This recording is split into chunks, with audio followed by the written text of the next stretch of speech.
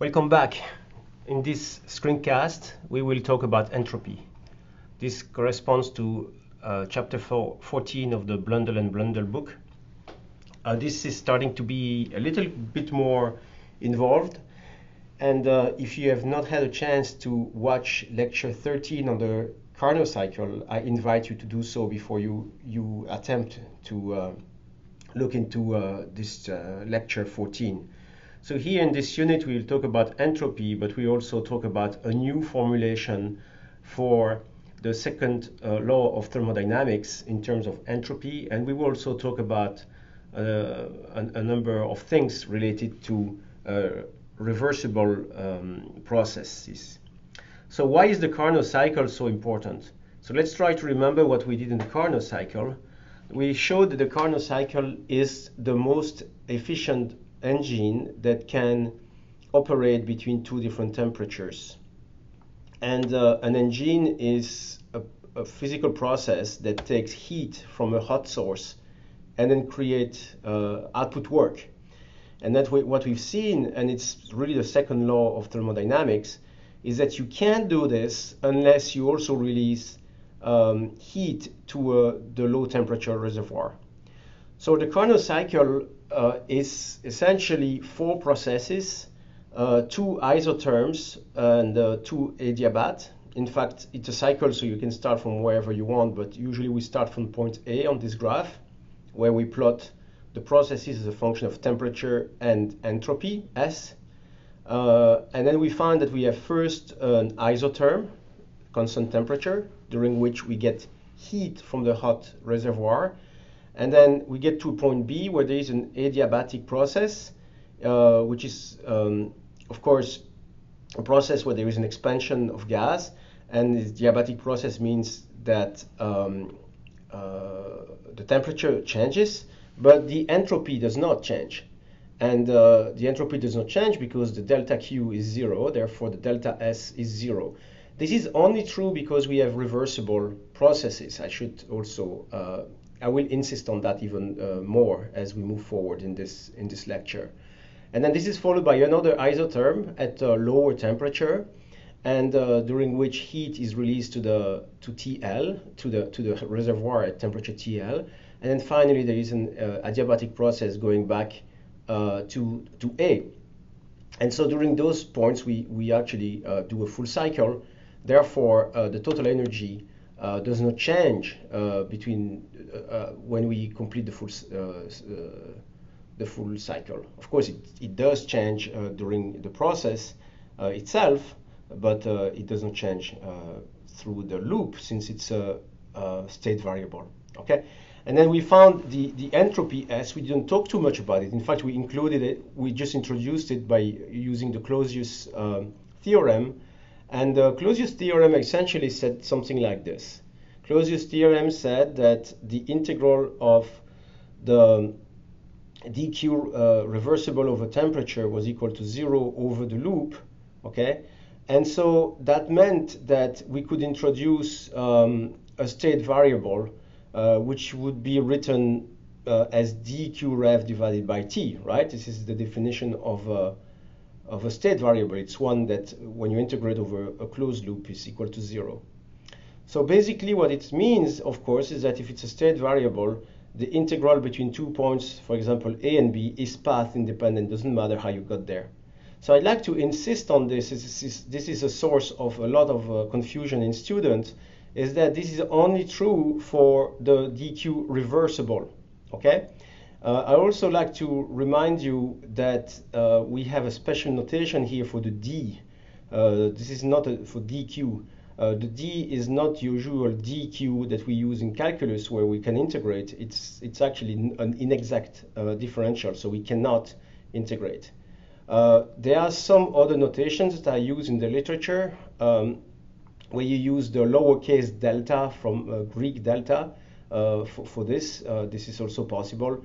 Here it shows that it's it's it's kind of keep things uh, within calculus uh, notations, but modified because we don't have a, an exact differential. We'll talk about this later in a in a future screencast. So the fact that it's path independent means that dq rev over t is an exact differential. So there must be a way physically to write this as a d of a function, such which we decide to call it s. There must be a way to write it ds, where the d here is a proper ds with exact differential. And the reason why it's an exact differential, of course, is because the integral over a loop is zero. And uh, it turns out this, this s, which is a new state variable that we found through this process, is, um, is called the entropy. Okay, so the entropy is really introduced through the idea of having an exact differential, and we didn't know which name to give it, so we call it the entropy, and we will understand more about this, of course, by the end of this screencast. Um, now, uh, if you have an adiabatic process, remember an adiabatic process means there is no exchange of heat, uh, the dq uh, reversible will be equal to zero, and therefore the entropy is also equal to, to uh, the, the, the, entropy is constant. So ds is also equal to zero. So basically we can call the adiabatic process is also being an isentropic. Uh, IS is like an isosurface and isocontour is the same and entropic. So it's the same entropy, iso, is, isentropic. Now let's try to, to, to go a little bit uh, further in this. And uh, this is an important slide because here I'm going to talk about irreversible changes, which are, of course, most of the changes that we, we see. Uh, in, and uh, we see the differences between irreversible changes and reversible changes.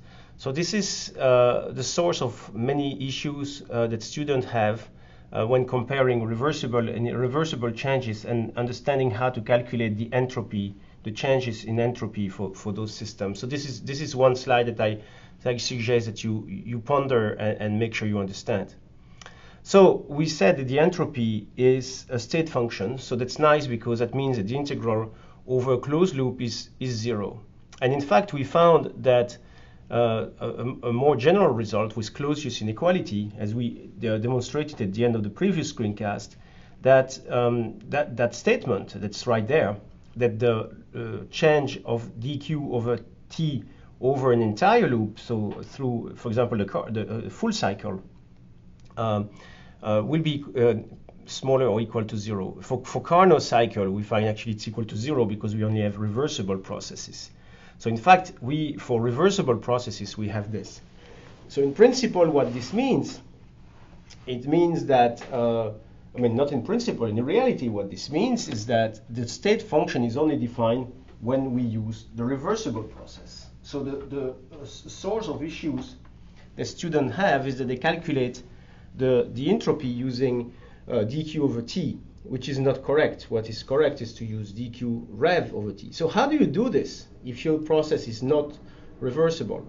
Well, the good news is that because it's a state variable, dq rev over t is a state variable, that means that we can uh, use any path we want so long as the endpoints of the path are the same. And that means that if we are interested in knowing the change in entropy from A to B through a general process which, which is irreversible, the idea is to try to find an, a, another path still between A and B, but in that case, a path that's reversible. For example, with this here. So how does that help us? Well, it helps us because uh, the, the integral over the loop, of course, now is the integral from A to B of the, the actual uh, process, which is the irreversible one, so dq over t, plus the path um, going from B to A from dq reversible over t. And of course, it's correct. We go from A to B, then B to A. So we have a full uh, circle. Uh, therefore, we, uh, Clausius inequality applies, and this is smaller or equal to zero. Okay. So in other words, the integral of dq over t is always smaller or equal to the integral of dq rev over t. So, but remember, the integral of dq rev over t, uh, this is, uh, I mean, dq rev over t is the entropy, so we can we we can certainly um, write uh, we, we can we'll be able to use the, the entropy for the for the second integral there on the right hand side of the inequality sign, and more importantly. Um, if this is true for any path A to B, it's already true for, for an infinitesimally small path, in which case the, the integral, of course, drop.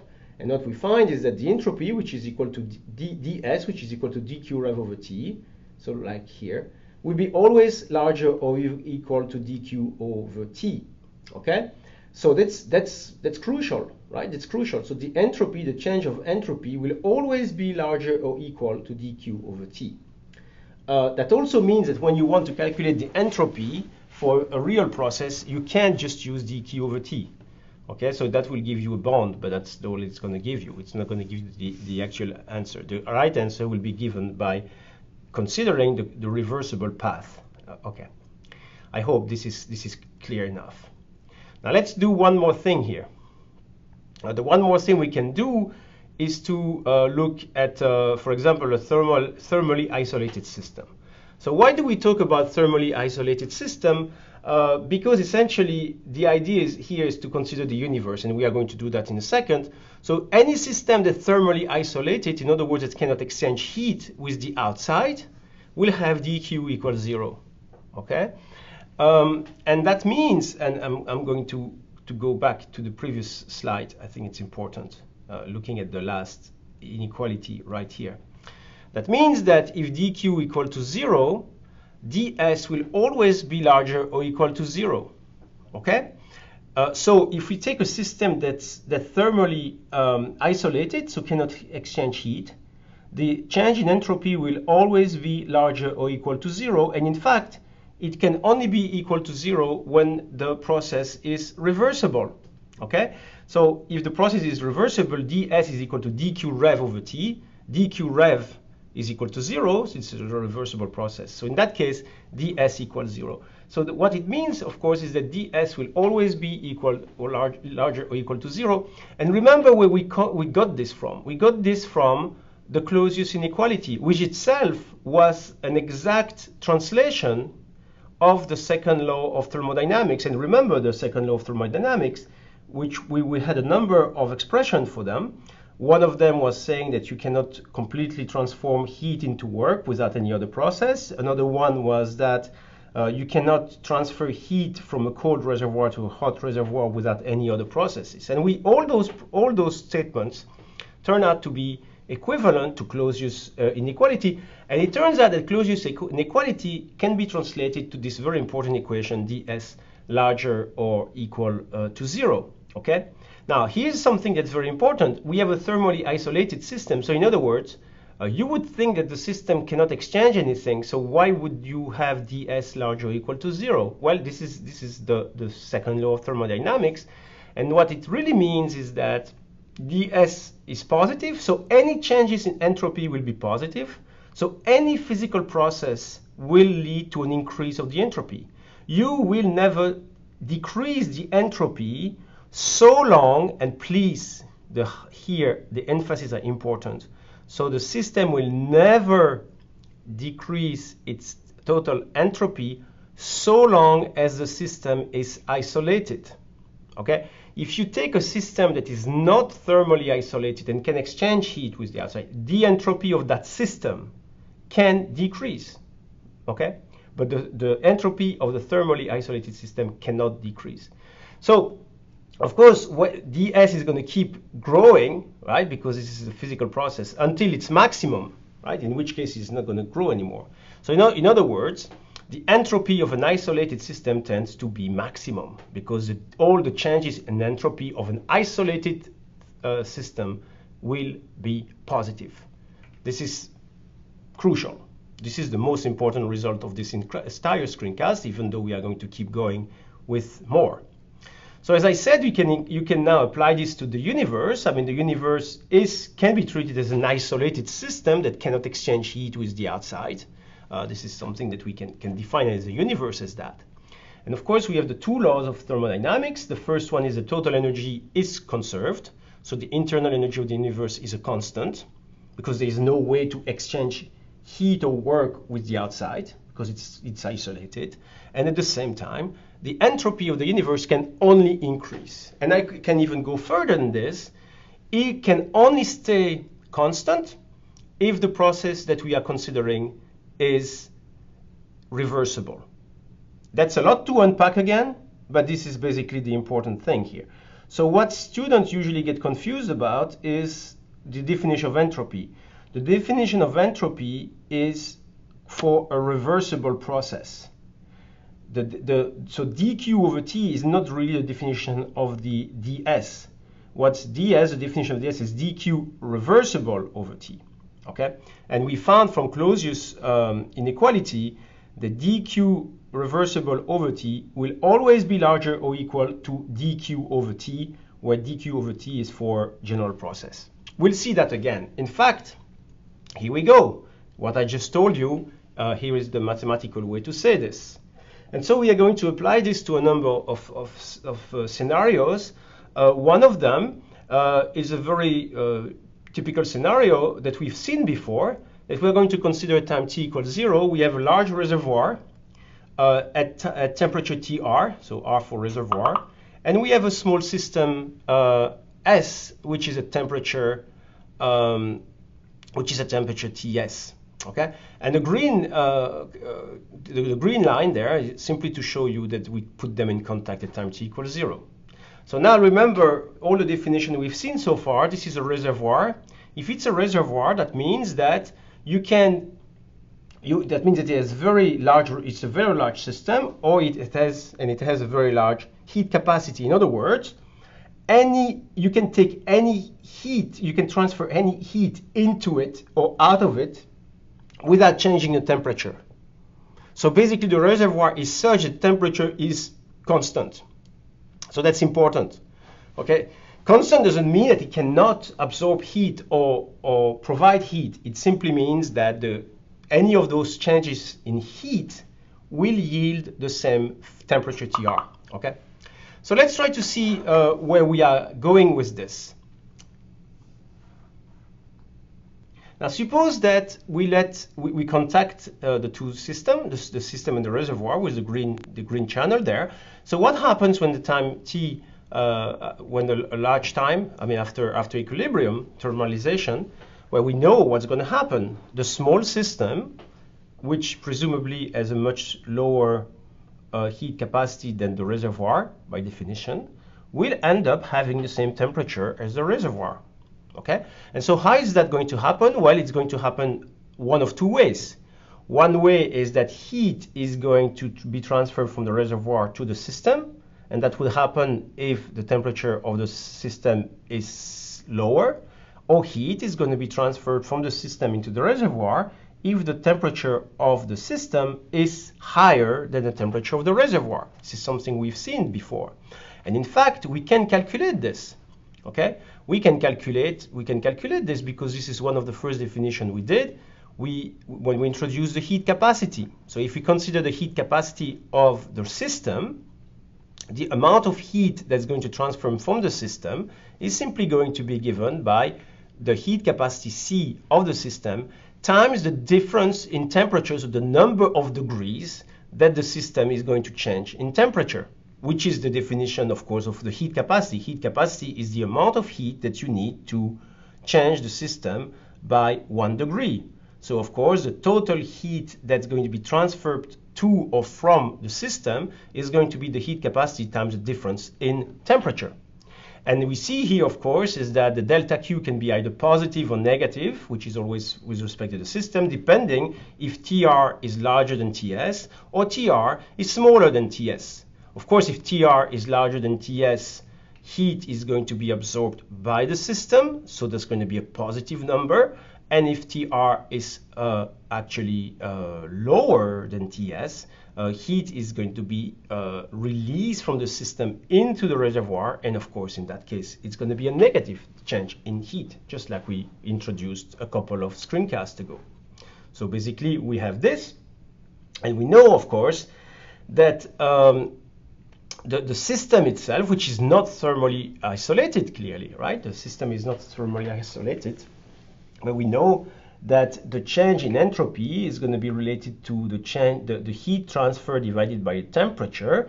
So we know that's going to be an increase in heat, in, in entropy when heat is transferred to the system, or it's going to be a decrease in entropy if uh, otherwise. So if heat is actually um, transferred from the, from the system into the reservoir. Okay, so all that is fine because we know that the change in entropy is going to be related to a delta Q over T. Now, we can actually calculate this. And we can see, uh, we can calculate the change in entropy of the system, and we can also calculate the change of entropy of the reservoir. And by doing this, we know that the total change in entropy should be, the, should be that of the entropy of an isolated system. Indeed, the reservoir plus the system taken together are it's a thermally isolated system because we do not allow any other reservoir to exchange heat with those guys. Okay, so here's the way it works. We're going to calculate this. So uh, we introduce, we, intro, we are, first we are going to calculate the change in entropy in the reservoir. And we know the change in entropy is going to be dq over T. Now, we know because it's a reservoir, by definition, the temperature is constant, right? And the temperature is TR. So TR is constant, we can take it out, and we just have to integrate dq. Now, you can say, well, I can't integrate dq because there is a bar inside the d. Yes, it's true. It depends on the path we take. But we know exactly which path we take, right? We take the path that say that we have a constant temperature reservoir in contact with the system. And we already know what is the total amount of heat that's going to be transferred. So delta Q, we just calculate, we just, I just introduced it in the previous slide, which is the heat capacity of the system C times the difference in temperature. So we know that the total change in entropy for the reservoir is going to be equal to CTS minus TR over TR. And we also see that that change in entropy can be positive or negative depending if heat is uh, is going to be positive if heat uh, if if if TS is larger than TR. So basically, if heat is absorbed by the system, and it's going to be negative otherwise, just like we expect. And of course, we can uh, calculate the entropy of the system, but we cannot use the exact same equation because the temperature is not constant, of course. Uh, so we can calculate uh, this as uh, dq over t. And of course, we are going to remember that the change uh, when we have a system that's, that's an, in an isotherm, the dq is equal to, is equal to, is equal to c dt, okay? And uh, uh, which is certainly true. And then we have, uh, for, for this particular system, that we have to integrate c dt over t, which is of course given us a, a logarithm. Okay. So now the total, the total entropy of the total system now, which is can be considered as, um, which should be considered as isolated, since we include everything that interact with it, is going to be equal to the sum of the, both of these, which is which is this this uh, this number there, this function there. So the best way for this is to actually plot it. Uh, so this is this is the plot of those three values. We see that uh, the the entropy of the reservoir increases uh, linearly as expected from from the equation, while the entropy of uh, of uh, the system itself uh, goes down. Okay, goes down as a function of the ratio between the temperature of the system and temperature of the reservoir. So what we should find is that, of course, the total entropy should always be a positive or equal number equal to zero. And here, um, this is true. You see the red curve is always above uh, zero. In fact, um, I find this a little odd uh, in this figure is that, of course, at Ts equal Tr, so at 1, uh, the total change in entropy should be equal to 0. Okay, and uh, this is a plot that I got from the from the from the book, of course. And uh, in principle, the red curve should be should touch uh, zero at Ts equal Tr. Um, this is a reversible process. When Ts equal Tr, it's a reversible process because we there is no process. So doing nothing is reversible. Okay. Um, anyways, the point is that it's always positive. Uh, if I add two zeros, I certainly should get a zero. Uh, what's interesting though is that depending on if heat goes in the system or out of the system, we have a positive or negative uh, number for uh, the DS reservoir, the, the, the uh, delta S system. What's interesting too is that the two processes are different. Okay, uh, the system is attached to a uh, works at at constant temperature. It's, it's, attached to a reservoir at constant temperature, while the reservoir is attached to a system that changes uh, heat in a non in, in, in a not constant fashion. So there's a reason why the two the two plots are different. What's clear is that we do not have a reversible process unless unless Ts equal to Tr. So this red curve should really be equal to, should be really touching zero there at Ts equal Tr. So it's interesting now to go back to the to the first law, and this is another very important result that can be a little, may, maybe a little um, troublesome to understand. So uh, pay attention to this. Um, what we find is that um, we know that dEu is equal to dQ plus dW, and we know that U, the internal energy, is a, a, a, a, function of state, but we know that heat and work are not function of state, uh, so therefore they depend on the path that we use when, when th that we use when we calculate when we calculate it. So there's a reason why we have the bar. I insist this again. Now, we've seen two things that are important, is that for reversible changes, dq is tds, we just did this, Remember, ds was only equal to dq over t if, if the process was reversible. And of course, dw is equal minus pdv, which turns out to only be true for a reversible process. And it is only true for a reversible process because if you go quickly in compressing a gas, for example, there will be some of the work that you do that will not be used just to change the volume, but it will be there to create turbulence, shock waves, and all sorts of things that will not uh, correspond to a change in volume. So this particular equation minus PdV is only true for reversible change. So that means for reversible changes, du is equal to TdS minus PdV, which is another expression of the first law.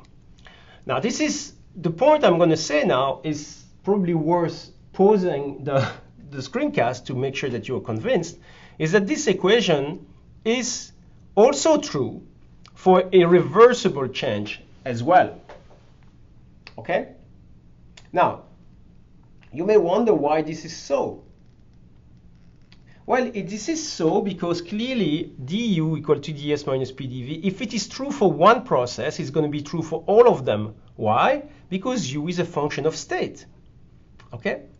Now, here is the problem though, and this is something that's very often people get confused about, is that it's true that TDS is dq for reversible process and minus PDV is uh, dW for reversible process.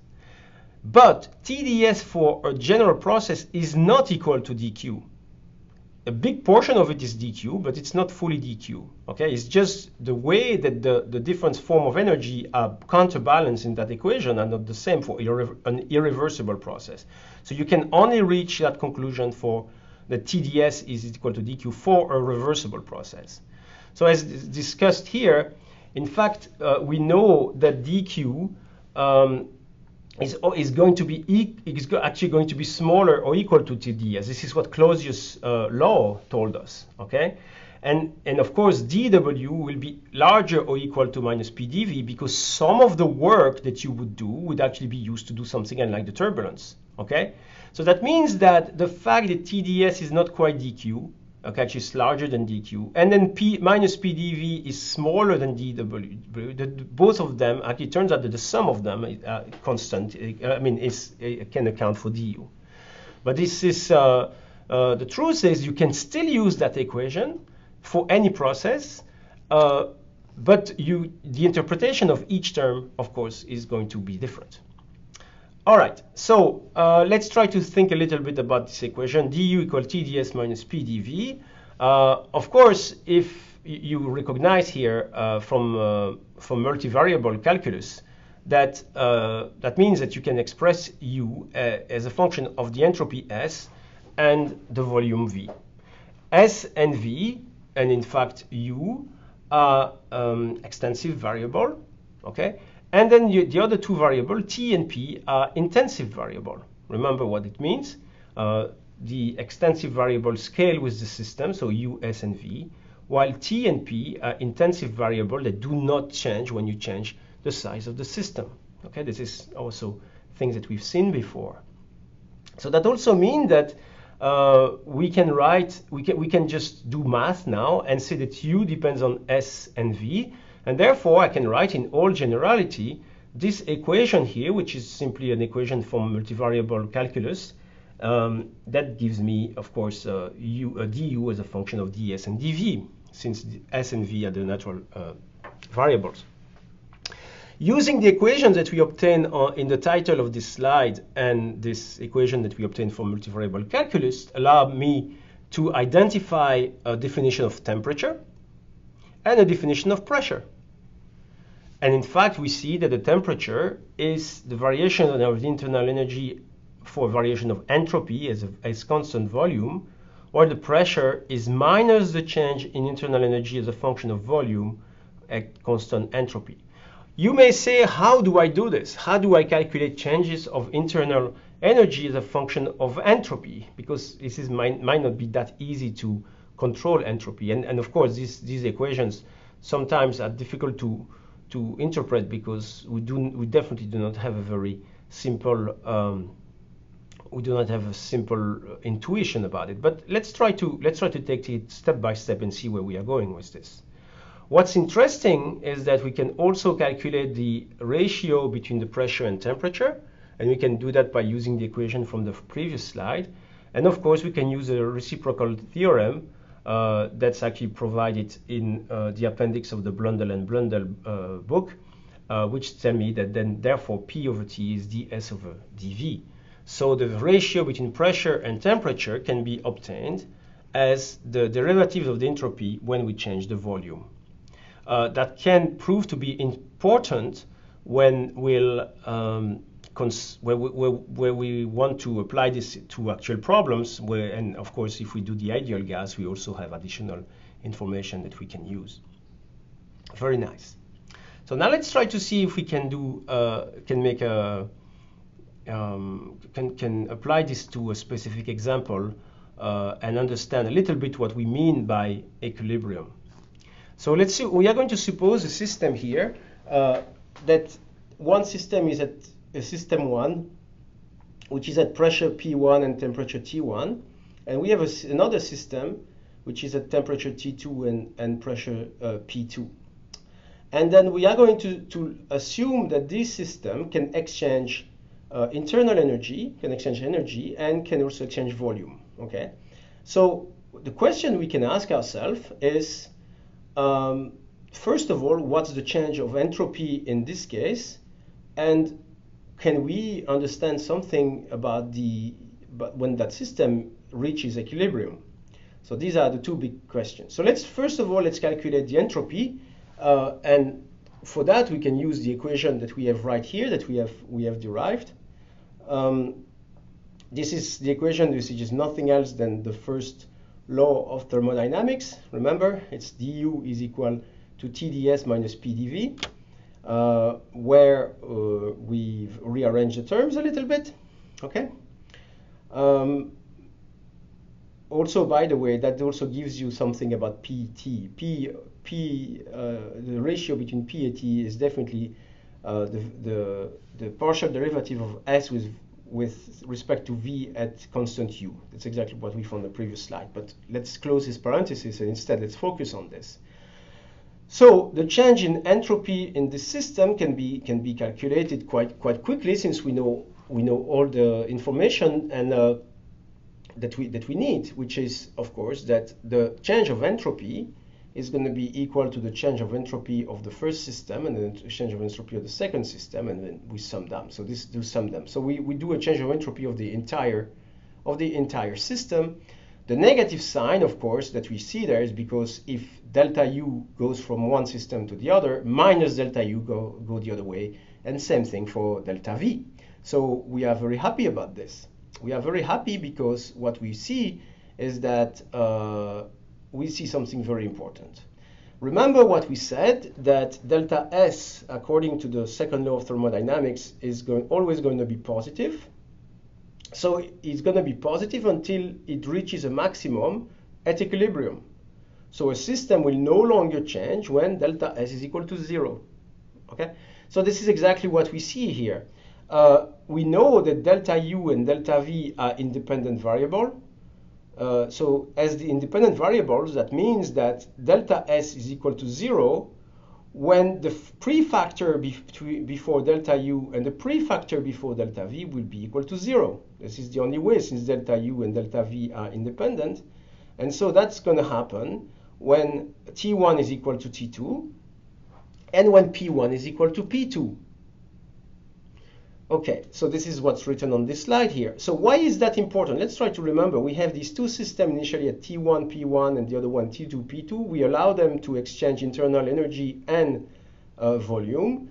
And then we found by applying uh, the second law of thermodynamics that the entropy will be maximum. So in other words, we will reach uh, equilibrium when the temperature uh, are the same and when the pressures are also the same. So basically that that justifies what we, we took for granted from the beginning that at equilibrium the temperatures and the pressures are constant. Okay, so this is a direct application of the second law of thermodynamics. So uh, we are about midway through this screencast, but I think it's important to take a, a short break about, uh, about what we've learned so far. Okay, what we've learned so far is written on this slide, and then we found that uh, the first law of thermodynamics is given by the first uh, equation, and uh, of course, notation gives gives us a great deal about the difference between uh, state what is what's a state function like u and what is not a state function like q and w. Uh, the second uh, line is the definition essentially of entropy. So the entropy can only this is only correct. This equation is only true when we have a reversible change. If you have any trouble with this, just put REV in a subscript for Q for a while, while before until you are convinced. Uh, this is what we did in the previous slides, uh, and I, I, suggest you do that if you have any trouble. If you, I, this is the most common mistake students make is that they calculate ds using dq over t without paying attention to the fact that dq must be for a reversible process. We actually have something similar for dw, where we have minus pdv, which is really only true for reversible change. Now we can we can decide to substitute dq and dw from from the first from the equation on the first line and get t, du equal tds minus pdv. And it turns out that even though each piece is only true for reversible changes, the sum is always true. And again, this is only this is always true because uh, we have a state variable uh, with u. Okay.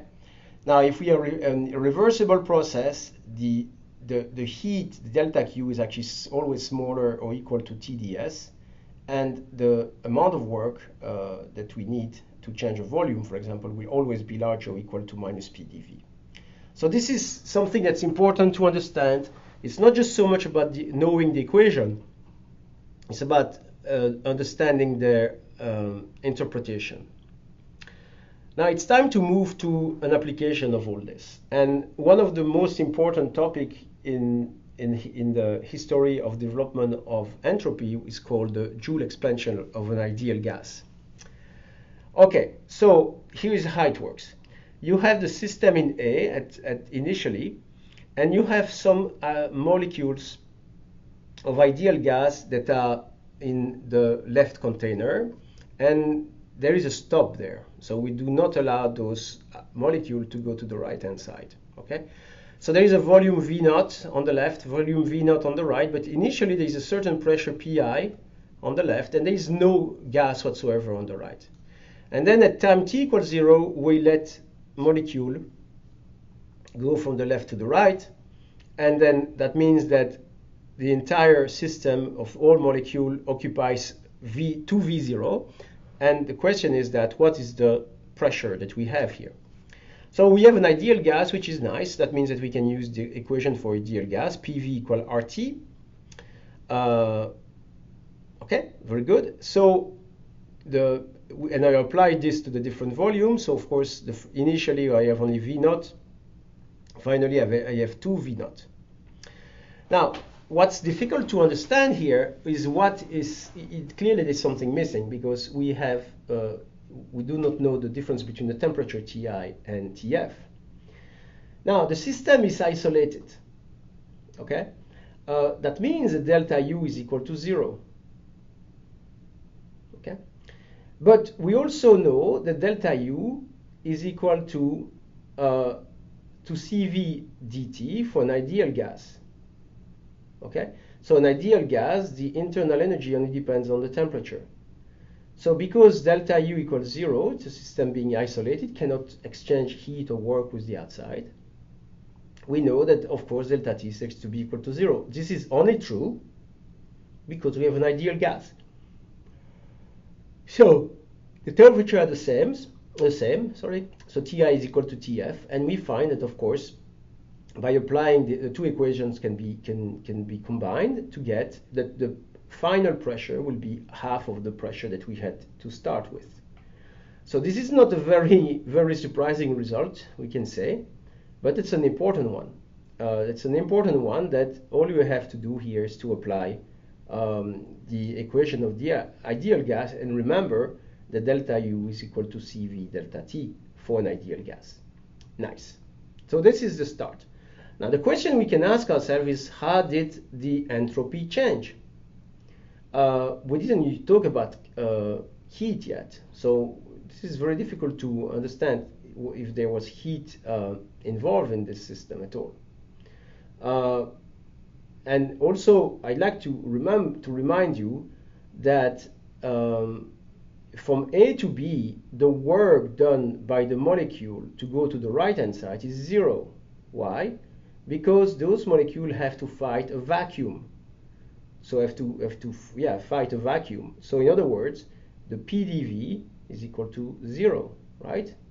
Initially, when you start the system like this. So clearly, there's something going on uh, that, that's happening, and we are going to to understand this in a second. But before we go there, let's try to remember what we are trying to do.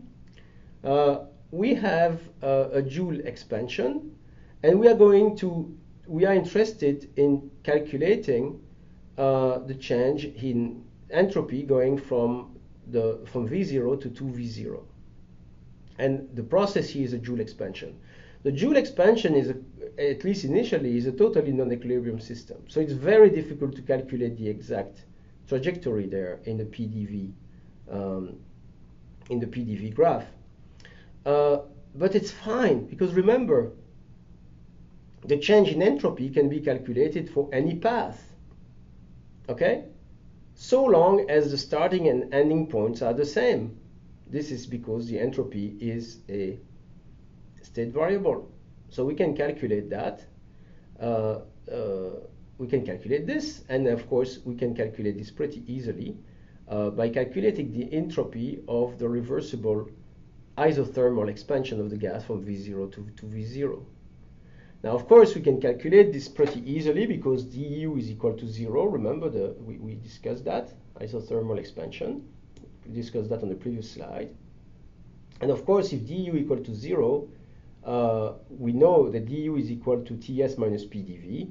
So if du equal to zero, TdS is equal to PDV. So that's nice because that means now that we can calculate ds, delta S as the integral of ds between initial and final. And we can replace ds by pdv over t, since tds equal pdv. Now we're in good shape because uh, we uh, remember that we have an ideal gas. And if we have an ideal gas, P over T is equal to R over V. And what we end up doing is simply an integral between V0 and 2V0 of RV dV. And of course, that end up with R ln the 2.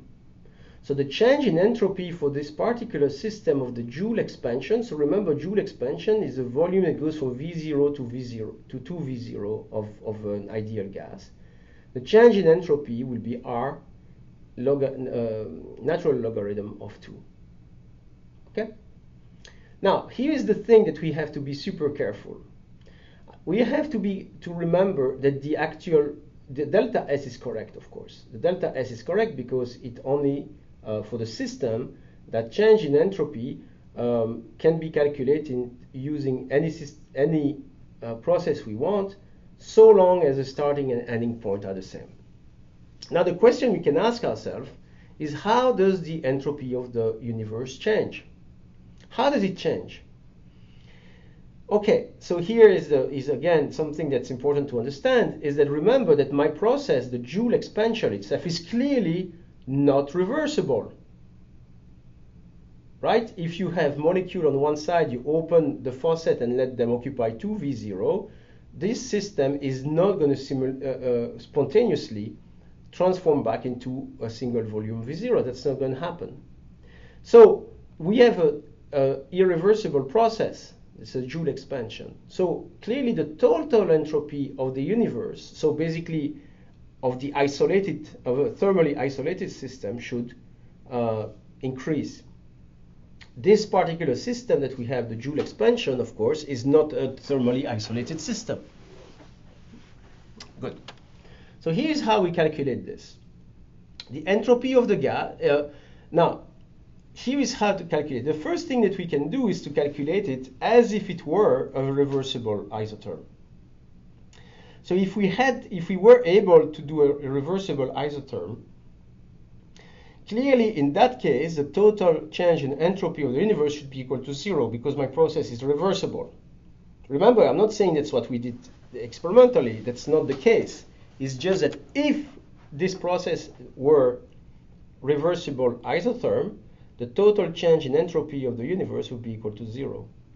So what's nice is that we already know what's the change in entropy in the gas. It's R ln 2. So clearly, the change in entropy of the surroundings must be minus R ln 2. And it's minus R ln 2 simply because we know that the entire entropy of my system must be equal to zero because I have a reversible isotherm. So this is very important. So basically, uh, the fact that the entropy of the surrounding system goes down is fine with the second law because what matters with the second law is to consider the entire isolated system.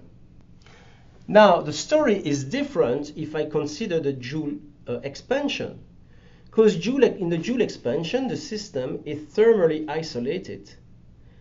That means that if it's thermally isolated, the entropy of the surrounding does not change the surroundings is not there is no process uh, affecting the surrounding whatsoever right? So that means that in that case the entropy of the surrounding must be equal to zero but the entropy the, the, the, the entropy of the system that we where, where the joule expansion takes place has to be positive we just calculated r ln the 2 which means that the total change in entropy of the universe is now r ln the 2 so the gas, the change in, in entropy for the gas is R the 2. The surroundings does not change because we have a thermally isolated system. Therefore, the change in entropy of the entire system has to be equal to R the 2. Okay? So one thing that's interesting to do as well is that how do we, we don't have a reversible system. And in fact, if we wanted to reverse a system, we would need to do work to actually push back the molecule from the right hand side of the system into the left hand side. So we could think about how we would do this, how we, the, the, the work that we would need to calculate, uh, we need to know the path, and basically the, the work that we would need to provide to this would be uh, the integral between the, the, the, two vo the volume 2v0 to v0 of, me, of minus pdv we, we will remember here that we have an ideal gas, and there's a reason why we use ideal gas is because we can always change variable between each other, and P is equal to uh, RT over V, and uh, that means that we can integrate this, and then we find that the, the work that would be required um, to, to, to actually get back to, to get back to the initial condition situation is actually T delta S gas. So that's a very interesting result because that means that for this particular system, the entropy that we calculate, uh, which is always positive for a thermally isolated system, is also the work you would need, I mean, is also proportional in this case to the work you would need to bring back the system uh, to where it was initially.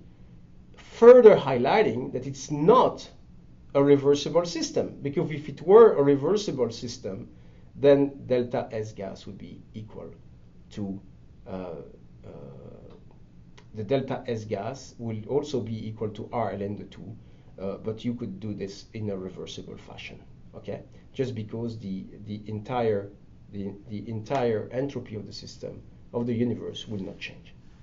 So you can, you can ask yourself, is, this a, is there a paradox here? And here is the thing that, that's, that's, uh, that I mentioned earlier in this uh, lecture that I like to, to, take, to, to bring home one more time we saw that in the Joule expansion, uh, we find that the delta Q is equal to zero. There is no exchange of heat. There's certainly no exchange of heat to the outside it's, since it's thermally isolated. Okay. During the expansion itself, the gas is basically pushing against vacuum. Pushing against vacuum, of course, doesn't require any work because P equal to zero. So there is no work done. So delta W is equal to zero. Therefore, the change of internal energy of the system is equal to zero. And it's also the reason why the temperature did not change during this process. So that's all good. Now you can ask yourself, but if delta Q equal to zero, then delta S should also be equal to zero. So before you, before you agree with what I just said, this is not correct, of course, because this ds delta S is equal to delta Q over T only, only for a reversible system. Okay? So delta S is defined as delta Q over T for a reversible system only. Of course, here we don't have a reversible system. And in fact, uh, we can we can see that that we cannot we cannot do this, uh, uh, and we find that indeed delta S is actually R lambda two, and uh, even though delta Q equal to zero. So this is very important to realize here that even though there is no exchange of heat, the entropy also also increases. So delta S is not equal to delta Q over T, but instead is equal to delta Q reversible over T. Okay, so which is of course not the delta Q we calculated here, further highlighting that delta Q is not, or Q is not a, a function of state. Okay, so that, that's very important. Now we are going to move into our next section in this uh, screencast, which is about the statistical origin of entropy. So we will now uh, look at the statistical origin for entropy. And if you remember well, we already discussed a little bit about uh, uh, a statistical approach to understanding temperature, for instance, in an early uh, screencast. And we are going to try to connect everything together now. So remember that when we wrote the internal energy U as a function of the entropy and uh, in fact the volume, we found that the temperature could be defined formally as the partial derivative of the internal energy with respect to the change of entropy at constant volume. Uh, that means that, of course, that means that we can write uh, the 1 over T is equal to the change of entropy with respect to the internal energy at constant volume. But if you remember a very early lecture in this series, we found that uh, the temperature could be defined uh, according to the logarithm of the number of microstates.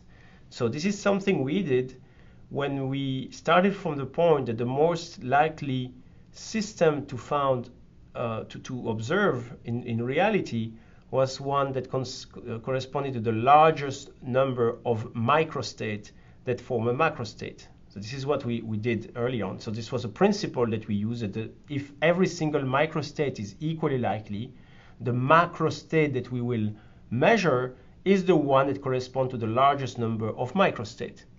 And we came up with this equation right there. Now, we, we have now understood that U, uh, the internal energy, is, is really the energy E uh, of, of the system. And now, of course, we find a, a direct uh, relationship between S and, um, and the logarithm of the number of microstates. In fact, we see directly that what we obtain is that the entropy is equal to K, KB, Boltzmann, uh, K Boltzmann, and the logarithm of the entropy. This is a very important result, and of course, it's, it's famously uh, known to be uh, on the gravestone of uh, Ludwig uh, Boltzmann.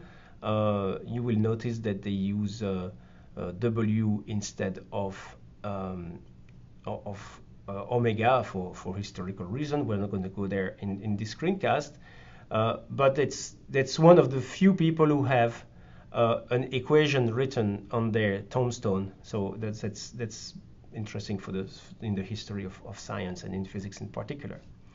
So we, we are going to to, to see uh, how we can apply this this description where the entropy is directly related to kb logarithm of the number of microstate. And we, we are going to start by looking at a system, which is a system we looked at, which is the Joule expansion of a gas, and see uh, if we can find, um, um, if we can calculate the entropy using the, the, statistical method and see how it compares with the thermodynamics method. And this is what, this is what we are going to do now. Uh, I'd like to, to, uh, to tell you as well that uh, here we are, going, we are working in a microcanonical ensemble, and the microcanonical ensemble is one where the energy is fixed. Okay, so the, expand, the Joule expansion revisited, remember, this is the, the, the, schematics that we have. We start with gas that occupies only volume V naught. Then we open the gate there, and we let the gas occupy a volume 2 V naught. And we already calculated the final pressure with half of the initial pressure. And we calculated the entropy already of this system. Okay, so let's try to do, let's try to understand how we can calculate this. So, so using the, calculate this using the statistical description. We know that what matters is the number of microstates. So it's obviously not very easy to calculate all the microstate of a gas uh, occupying a volume like this. But what we can do, uh, what, we, what we want is, remember, what we're interested in is a change in entropy. So it's the delta S. So the question is, what's the change of entropy for a gas occupying volume V naught or, or a gas occupying a, a volume 2 V naught?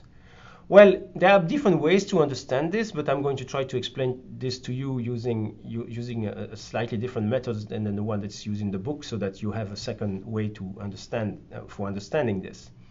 So take take a specific molecule of gas, and it's occupying a volume V naught. It occupies a certain number of microstate. Now, we can put a label on that uh, molecule and we can say that that label is either left or right. So it's going to be left if it's on the left container, it's on the right if it's on the right container. Of course, initially, uh, it only molecule with a label left exists, but after we open the gate, uh, you can have left and right. So that means that each molecule have has a certain number of there's a certain number of microstates that correspond to the ensemble of molecules. But after we open the gate, we have those number of microstate increases because each molecule can either be left or right. So in other words, if we have n molecule, we have 2 to the power n possibilities for the uh, more possibilities for the microstate, simply because we have an additional label that can be left or right. So why is it 2 to the power n? Because there are two possibilities for the first molecule, 2 for the second, 2 for the third, and so on. So 2 times 2 times 2 times 2 times 2.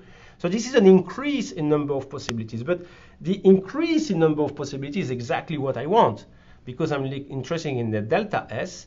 And of course, the delta S, because of the property of the logarithm, correspond to a logarithm of a ratio, right? So, so so that's ln omega 1 minus ln omega 2 is ln omega 1 divided by omega 2. So all I'm interested in is the increase, the relative increase, omega 1 over omega 2.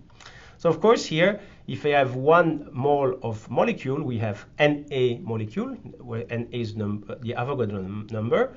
So that means that the increase in microstate is 2 to the power Na. So the additional entropy can simply be calculated as uh, delta S is kb ln 2 to the power na, which of course is, is a trivial thing to calculate using properties of logarithm. And we, if we remember that the constant of gas R is nothing else than the Avogadro number times kb, we find that the change in entropy for this system is R ln of 2, which is exactly what we found using the thermodynamics property properties. So you see, the reason here is we, we start to also see this idea of entropies versus disorder and, and number of opportunities. But really, it's about the entropy change, changes because we have more microstate in this case. In fact, the microstate increased dramatically 2 to the power Na, which is of course a very large number, and that corresponds to a change of entropy of R ln of 2. Now there is another another system that we can can consider is the is called the entropy of mixing, and the entropy of mixing goes as follows. We essentially have two containers uh, of one of gas 1 and one of gas 2, and there is a x molecule of gas 1 and 1 minus x molecule of gas 2. Well, actually, uh, times n. Uh, so, so this x times n molecule of gas 1 and 1 minus x times n molecule of gas 2. And they occupy a volume xv and 1 minus xv. x is, of course, between 0 and 1. So we have those two gases. They are uh. They are they are uh, uh, prepared at constant pressure at, at similar pressure P, at same pressure P, and same temperature T. And so at time at time uh, at certain time we actually let the two gas mix. And the question we have here is what is the, the entropy of mixing those two those two systems. So what entropy uh, happens here? Clearly, before we start, we already know one thing for sure, is that the entropy is not going to be equal to zero because if the two molecules mix, uh, if there is a mixture between the two molecules, uh, the, the two, the two uh, gas, clearly um, the, um, the, this is not a reversible uh, problem, right? It's, not, it's simply not going to be reversible. Well, we're going to discuss that in a few seconds. But for now, we know that it's not going to be a reversible uh, uh, process. So clearly, the, the entropy is not going to be equal to, to zero, the change in entropy. So we, we basically, it's basically uh, from the perspective of gas one and the perspective of gas two, we essentially have two Joule mixing processes, right? So we have a Joule mixing processes for gas one and a Joule mixing process for gas two. So let's try to understand here, okay? Uh, we are, this is an isothermal uh, system, so we know that um, uh, we, we know that we have uh, we're going to have ideal gas. So if it's an isothermal process, we know the internal energy does not change. Uh, that means that we can write uh, TDS equal PdV. Right, remember the, fir the first law written du is equal to TDS minus PdV. Uh, but du is equal to, to zero because we have an isothermal uh, process. Remember, tu is equal to cv dt. It's important to remember the equations that we've seen before. And, um, and of course, that allows me, if, TS, if TDS is equal to PdV, that allows me to write ds is equal to PdV over T, and P over T is NKB over V. The, I'm using the, the ideal gas law. I'm not writing in this in detail anymore since we have seen this, seen this about 15 times so far. So by now you should be familiar with this. Uh, that's very nice because uh, I can now uh, calculate this. So the entropy of mixing is going to be uh, can be calculated using that formula, which is a very useful formula. ds is equal to nkb dv over v is always true for an isothermal process for um, an ideal gas. Uh, and of course, we can calculate the, the entropy, and the entropy, the change of entropy will be the change of entropy for the gas for gas one, which simply goes from volume xv to a total volume of v, and of course, uh, for, for x molecule, for x times n molecule, and the same process, in fact, the same physics, physical process happened for the for the molecule of gas 2, but in this case we go from a volume 1 minus x times v to v, and we have 1 minus x um, molecule of gas 2. So, uh, so this is this is a fairly elementary transform. Uh, uh, this is an elementary integral to, to perform, and in fact we can we can calculate it this way, and we end up with with a, as I said uh, something fairly fairly simple. And in fact, if we if we calculate the the change of entropy uh, uh, like this as a function of x, we find a curve that goes uh, goes from uh, from between x going from zero to one, uh, we find that uh, we have a change in entropy like this. So let's let's try to study a little bit this this slide a, little bit more, this curve a little bit more. The first of all, first of all, we have a maximum entropy uh, when x is equal one half, which is not really surprising because this is where we have the most mixture, if you want, the same the, the more molecule that you mix between the two systems. And then we find that the entropy in that case correspond to NKB and N2 again, just like we've seen before for the uh, Joule expansion, something something the same order, same similar. Um, so um, so so so we see again that we can explain this idea of n ln of 2 again using the same idea uh, using the statistical description where the number of microstates increases by 2 to the power n. Okay, uh, remember the 2 to the power n now because we have possibilities for gas 1 and for gas 2. That means that the total increase will be kb ln omega, uh, which I mean ln omega 1 over the omega 2, which is 2, uh, and um, the, the ratio omega 1 over omega 2 is 2 to the power n. Uh, I should say omega 1, omega 2 in what I just said. There's nothing, it's not gas 1, gas 2, it's before and after. I should say ln omega initial divided by omega final would probably be a little bit more clear. Okay, so that's very nice. Now you see that the entropy is is is is, is increasing. Is always positive, which is which is not not very surprising since we have a we, we have an isolated system like this. So it's it has to be positive. Of course, it is zero. Uh, if it is zero, if there is no expansion, if there is no mixture, or if it's zero, if there is no mixture at x equals zero at x equals one. Now the question you can ask yourself, and this is this is usually called as an important paradox. Uh, imagine that the two gas were identical.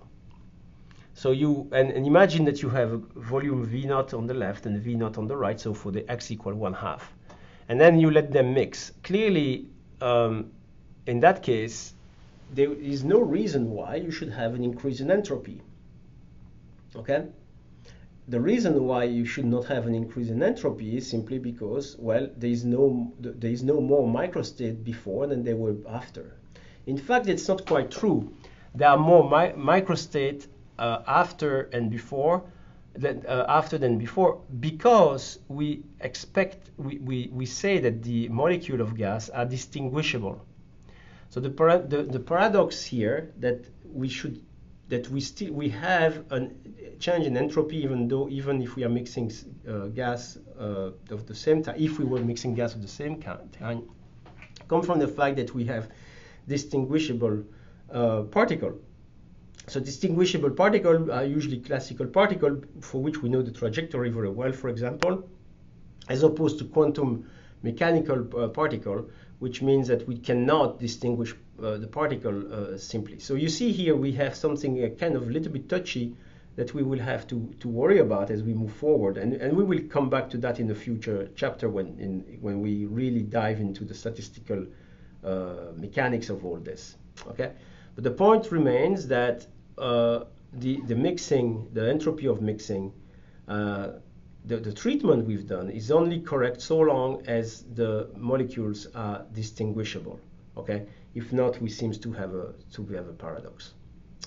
Okay, so let's try to let's try to, to switch gear a little bit and go back to our um, let's go back to, to the problem we were looking at in terms of uh, Joule expansion. So remember in Joule expansion, we start with certain volume V naught. We open we, we, we kind of open a, a, a, tap between the two chambers. The two, there are two chambers of the same volume. We open a tap. The first one is, is full at initial time and the other one is, is empty. We open the tap and we let them mix, okay? And so Maxwell came up with this idea of a Maxwell demon. Uh, we know that the entropy is increasing when you do this. Now, the Maxwell demon does this. The Maxwell demon is a creature. I mean, Maxwell, of course, didn't call it the Maxwell demon, but the, the idea is like this.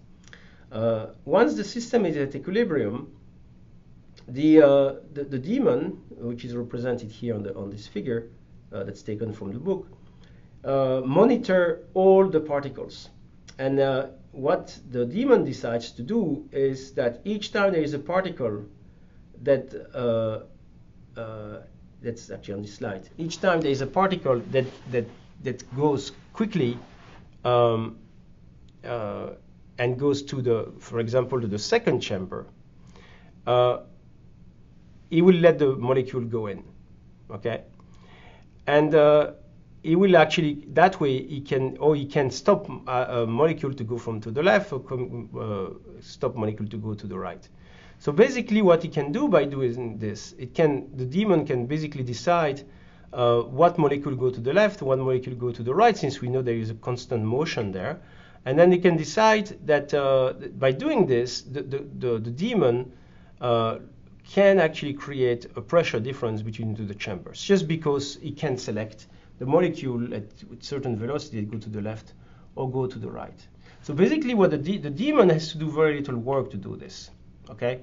Uh, and the question is, uh, that seems to be weird because if we could create such a demon that could do this, uh, that means that he would be able to to to, to create a to go be uh, I mean to essentially reduce the entropy. So basically, make showing that the second law of thermodynamics is not valid, because indeed we we would actually show that something that's not possible, that we would not measure because it corresponds to fewer microstates, let's say, would be would be actually made possible through the intervention of the daemon. So think again, just just to give you a better better explanation of this. Imagine that you just um, uh, mixed uh, cream in in coffee, okay, and then the demon would actually essentially take uh, would actually do the opposite. Uh, clearly, this is not a reversible system. So the demon would actually take all the molecule of milk and put them to the top and all the coffee on the bottom and would end up with having this, these two phase separations. Uh, so, so the question is, well, how can the daemon create, reduce the entropy? Because it's impossible to reduce the entropy of a system, as we know from the second law of thermodynamics, at least for the system that's, that's, a, that's a closed system, a, a thermally um, isolated system. So how, does, how is that possible? Uh, first of all, it has been shown that a daemon like this could be made with, with very, very little work. Because of course, if it start to do a lot of work, we, we can explain, we, we, we see that things get a bit more complicated, and if you provide work, you can indeed decrease the, the, the entropy. Uh, but we are talking about spontaneous effect. So people came up with a number of examples, and in fact, if you look at different books, you will you may see uh, uh, explanations that are that are changing slightly. Uh, but the thing is, uh, initially there was an idea of explaining that in order to do this experiment, you need to actually observe the experiment, and by doing that, you need to to to to bring in some some work, some some internal energy. But it was proven that was that was not a, a viable explanation. Instead, it turns out that this is an explana- this is an example showing that what is really happening is that you have an, you need to to keep tab tab on the on information, uh, and so there is actually an entropy of information that's uh, involved here, and the daemon has actually to to uh, create entropy in terms of information that he needs, and that the the way it's working is because each time the the the idea is actually related to, to deleting information, so removing information from from the from the process here. And by doing this, the daemon is actually increasing the entropy of information. And this increase of entropy uh, counterbalance whatever uh, idea of entropy that you would decrease by uh, by, for example, creating a pressure differential between the two chambers with, with the daemon. So basically, the idea is that this thought process, uh, so thought experiment with Maxwell's daemon, uh, does decrease the entropy of the gas itself, but the entire system, and remember we have to consider the entire system, uh, does in fact does not decrease its entropy because there is an increase in information entrop- entropy of information. So this is something that uh, that's becoming extremely important these days, especially with the idea of quantum computing and uh, uh, Shannon entropy and all, all, those concepts that will be treated in a, in a future screencast uh, corresponding to the chapter of the book. Okay, so let's, it's time now to, to move to the, to the last topic I want to talk about in this screencast, and this, this, is related to the entropy and probability. And we are going to push a little bit further with this equation of S equal to KB ln omega. Okay? So um, the problem with that equation, as nice as it looks, um, the problem with omega, the number of microstates, is extremely difficult to measure. In fact, in all honesty, it's impossible most of the time. Uh, this is just impossible to, to enumerate or, or to consider every single microstate. So very often, uh, thermodynamics being primarily an experimental uh, science, uh, we have to rely on what you can measure. So what you measure is not the micro state, but it's a macro state. So the micro state, just to remind you, a micro state corresponds to, to the intimate information you have of a, the component of your matter. versus a macro state that's a system in equilibrium that can be described by function of states such as pressure, temperature, volume, number of particles. So, so basically, again, uh, the good, the, the, advantage is that um, we are dealing with logarithm on the right-hand side. So the logarithm means that um, if we, we, we have specific rules that the number, if the number of microstate increase by a certain factor, that means that the entropy increase, uh, uh there is an, addit an additive uh, increase uh, to the entropy. Let me explain to you what I mean here. So there is essentially an entropy that's related to the microstate and entropy to, uh, related to the macrostate. So suppose that you have a, you have a system, okay? Uh, let's suppose that we have a system that's described by five states that can be measured. Okay, we can measure the five states. And so we know that the entropy according to, to, to the, to the Boltzmann, uh, the, the, Boltzmann equation from on this tombstone is S is equal to KB ln 5, since we have five states. But it turns out that each of these states, and this is not something that, that I know from experiment, but each of those five states correspond to actually three microstates. So um, that's just that's just it. We, we we cannot measure those. We measure the macrostate, but we learn later that those we can actually describe this by each macrostate being described by three microstate. So in other words, those what you what you actually have in your system is not five micro um, five states. Is actually 15 states, 15 uh, possibilities, and that means that the total entropy is in fact KB ln 15. Okay? And in fact, those ln 15 is ln 5 times 3, right? 5 macrostate corresponding to with, with 3 microstate each, so it's 15. So that means that I can write my total entropy as being the entropy that I measure that I measure, so S, okay, which is which is the, the what I called about the, the, the macrostate that I actually measure uh, experimentally, plus the, the entropy that corresponds to the microstate, so what you can't measure, which is actually you can't even enumerate. Okay, so the, in other words, what, what you do is that the total entropy that you have is an entropy corresponding to the macrostate and an entropy corresponding to the microstate. And of course, the beauty of logarithm is that the, this product of number of states um, is translated into a sum that we can separate the contribution for microstate and contribution for microstate. Okay, so that was just to give you the idea of what we are going to do now. So let's try to let's try to do uh, something here that's that's important. Okay, so suppose that we have uh, n microstate. Um, okay, we have a system. Have n microstate. Remember uh, the coins when we had 100 coins, and then of course if we have 100 coins, the number of microstate is 2 to the power 100. Right? This is the microstate. I have n of them. Well, it turns out that this microstate can be described into a series of macrostates. And just to keep this example of the coins, uh, with the the 101 macrostate is that is the number of tails versus number of heads. So for example, it's going to be zero tails, 100 heads one tails 99, and so on and so forth. And there are 101 possibilities of those. And we know that 2 to the power 100 would actually correspond to a certain dif a, num a different number of heads or tails. Okay? So, and, and this is going to be different. So in other words, my 101 possible macro state, so again, the number of heads and the number of tails, uh, I'm going to label those 101 with the index i, okay?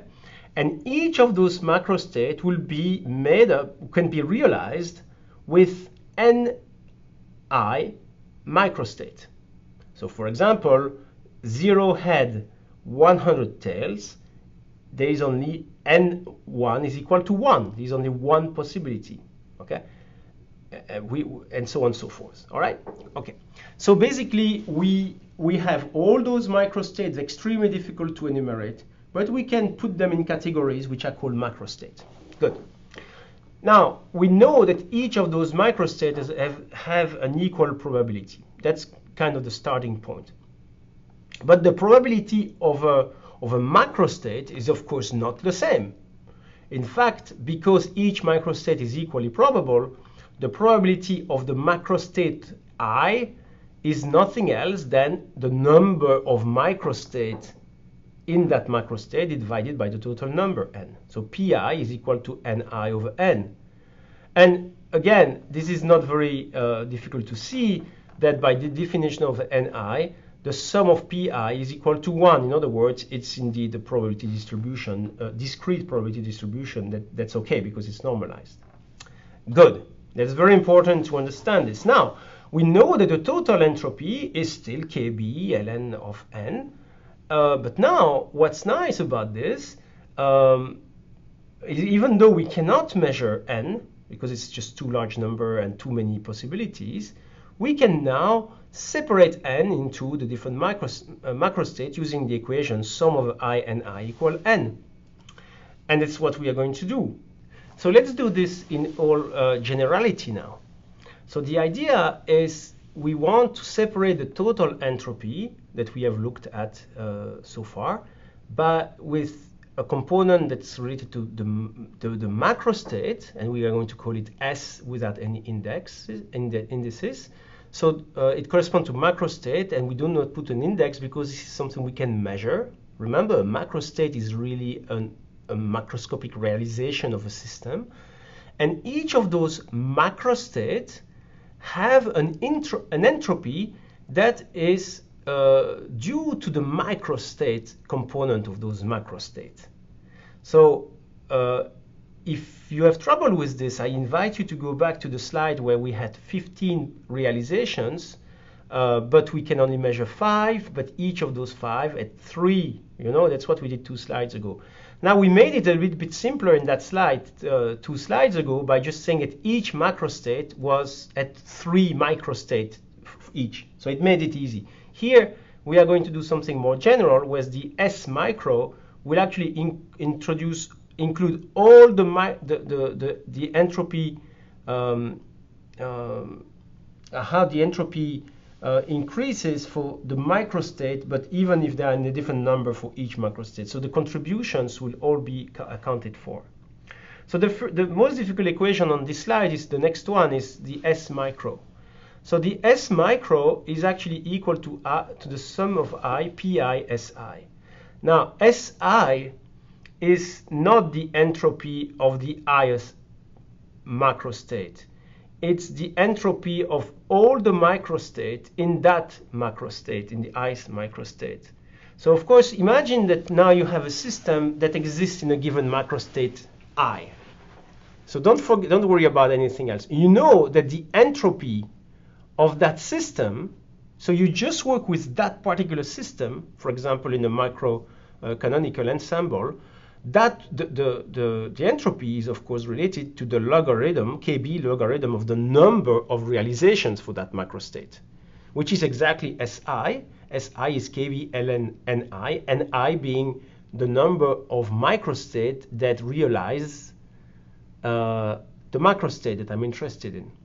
So of course I get a microstate there, so I get that entropy, and obviously the contribution to the total entropy will be that entropy Si times the probability of finding it's kind of the expectation value. So this is the reason why S micro is the sum over i of pi Si.